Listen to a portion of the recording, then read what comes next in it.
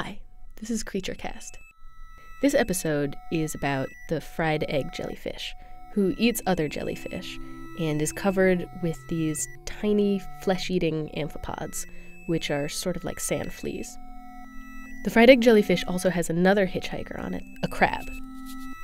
The crab has an interesting relationship with the jellyfish because at first it's a pest and can actually do some damage to the jelly. But then as it gets older, its eating habits change and it actually ends up cleaning the jellyfish and picking off the flesh eating amphipods. Here's Trisha Towanda from the University of Rhode Island. She spent a lot of time looking at these jellyfish. Oh, the jellyfish.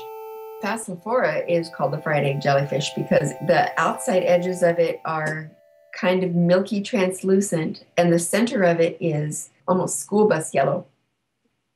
So they start about this time of year, and you can see them. They'll be out there about this big. And by the end of the season, they are this big. they get to be um, a meter across. When I was at Evergreen, we had noticed that this jellyfish would come into the docks with parasitic amphipods on them. I mean, they go beyond being parasites and they're actually parasitoid with this particular jellyfish. The way that a parasitoid is distinguished from a parasite, like you could have a tapeworm for all of your life and it's never going to kill you. But a parasitoid eats its host to death. Each jellyfish in Puget Sound typically have maybe two or three of these amphipods on them. And so what I realized was happening is that because Phacellophora eats jellyfish, every time it eats a jellyfish, it collects a couple of amphipods. And so Phacellophora get loaded with hundreds and hundreds of amphipods that eventually just eat them to death. So then the other thing that we realized is that some of these Phacellophora had little crabs on them. Cancer gracilis. What's happening is the crabs settle on the jellyfish, and there may be hundreds of them on one jellyfish.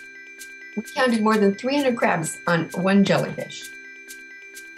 Then they get kind of territorial about the whole business. And so you may have only three or four or five crabs on there. All the rest of them get kicked off. And then as they develop and they'll stay on there until they're more than half an inch across. And by that time, there's only one crab left. Everybody else gets kicked off and they wrestle on the jellyfish to see who gets to stay. And the other interesting thing I got to see is that the crabs, if they got kicked off, they would wait at the bottom. And when the jellyfish came by, they would jump back on. From, from standing on their head, they would stand like claw down, feet up, and jump back on.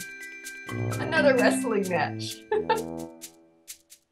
but then when I watched them, what I saw was by the end of the summer, the crabs would capture a amphipod and they would crack it open like a nut. They just threw away all the crunchy parts on the outside and just sucked up the juicy flesh on the inside.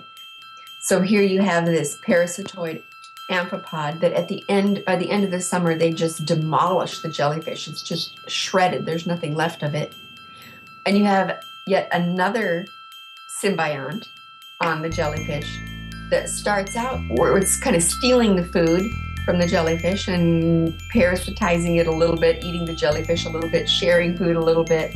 But then it evolves from that into a relationship where it's cleaning off the parasitoid